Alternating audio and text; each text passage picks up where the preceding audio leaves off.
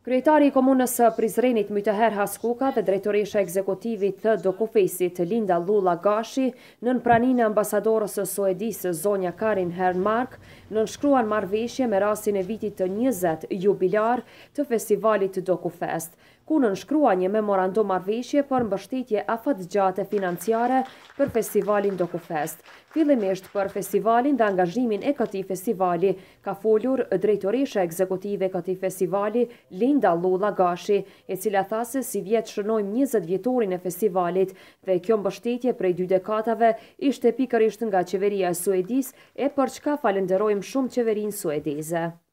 Kinematë nuk munden me jetu pa filma, edhe mbështetja suedeze në këtë aspekt do ta luajë rolin shumë të rëndësishëm, të vazhdimit të zhvillimit të kineastëve të ri të Kosovës.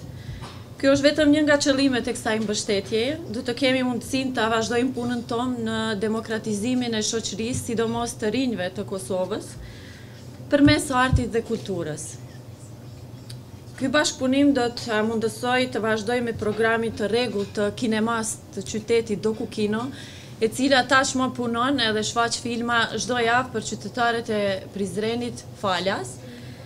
edhe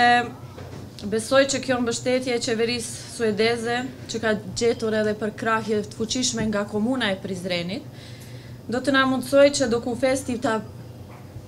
pasurojë programin gjatë tërë vitit dhe më pas ta festojmë atë program në mënyrën më të mirë në edicionet e radhës të festivalit tonë.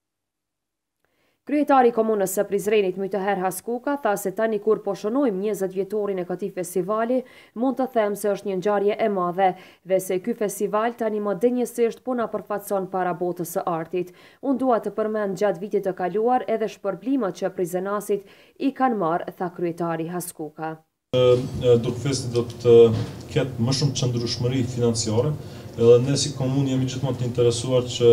së bashku me donatorët të bashkojmë fondet e komunës në mënyrë që të ndihmojmë kulturën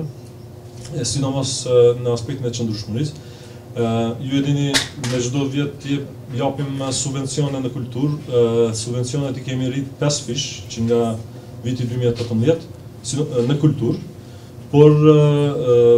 janë disa limite të cilët janë në bazën ligjore në aspektin e subvencionimit të drejtpërdrejtë. Prandaj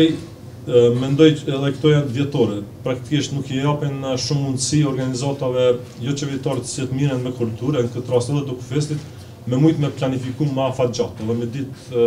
çka vjen vitin e ardhshëm. Prandaj në këtë aspekt mendoj Ne si komunë edhe unë si kryetar këtu me njëfar aspekti zotohem që do të mundohemi që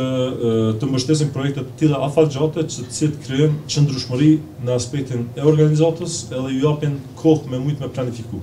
edhe me ditë çka ka me ndodhë vitin e ardhshëm, çka ka me ndodhë mas dy viti, edhe me njëfar aspekti me pas një bazë të sigurt, e cila pastaj mundëson edhe planifikim më të mirë edhe organizim më të mirë.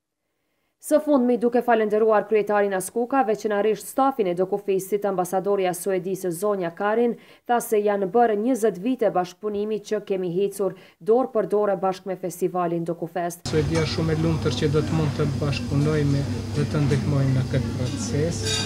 Tash janë dy dekada të punës së vështirë, të dedikimit, të dashurisë. Është storja e njerëzve vibrantë të rinj të fuqishëm që të krijojnë diçka shumë të rëndësishme, diçka shumë të madhe, të fuqishme. Është storja e njerëzve që e dojnë filmin që nuk kanë pas një kinema para 20 vitesh, por tash ata filmbërës kanë pas kriju sukses në krijimin e këtij festivali që e kemi sot në Prizren. Dihet botërisht se festivali Dokufest tani e njëzet vite në botën e artit Prizrenin e ka afruar me gjithë botën filmike.